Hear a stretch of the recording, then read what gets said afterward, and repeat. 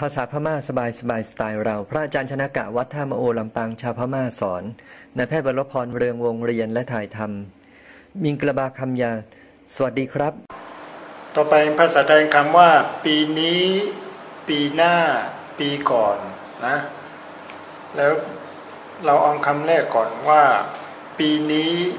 ปีนี้ ปีนี้ ภาษาพม่า ถ้าแปลเป็นภาษาพม่าก็คำว่าปีภาษาพม่าพูดว่านิด แล้วคำว่านี้ก็ภาษาพม่าบอกว่า ดี ดี ดี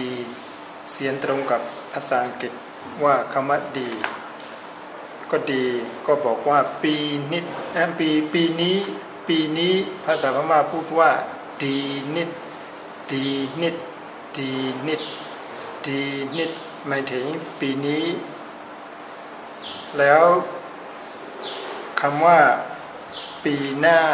ปีหน้าก็ภาษาพม่าพูดว่าเชนิดเชนิดเชนิดที่นี้ถ้าแปลเป็นภาษาแปลจากภาษาพม่าแต่ละคำก็เชนี้หมายถึงหน้า หน้าเชนี้หมายถึงหน้า ก็เชเชหมายถึงหน้า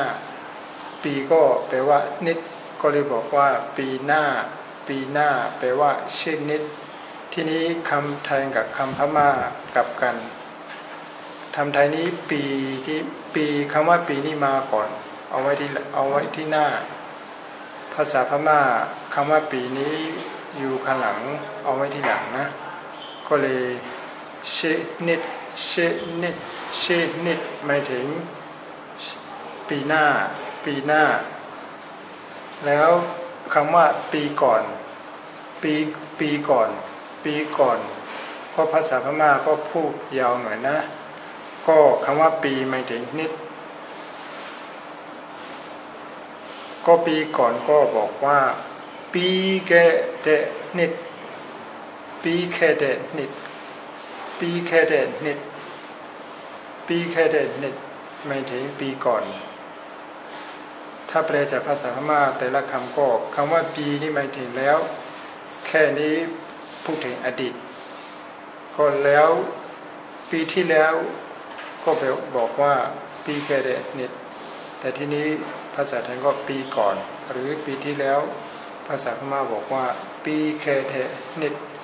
ปีแคเดนิดนี้มีอยู่สีพยัญชนะ ก็บอกว่าปีแคเดนิดไม่ถึงปีก่อน หรือปีที่แล้ว